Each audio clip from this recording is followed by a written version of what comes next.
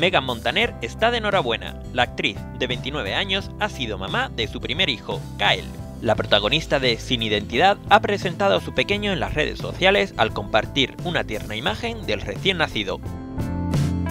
Junto a una foto de la boca y la nariz del pequeño, la actriz aragonesa daba la bienvenida a su príncipe con etiquetas tan tiernas como Te como y Amor.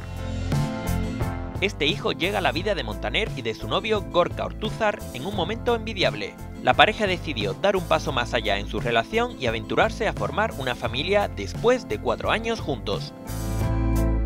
Ahora ambos tratarán de disfrutar al máximo de su pequeño y del momento tan especial que ha supuesto el nacimiento de su primer hijo.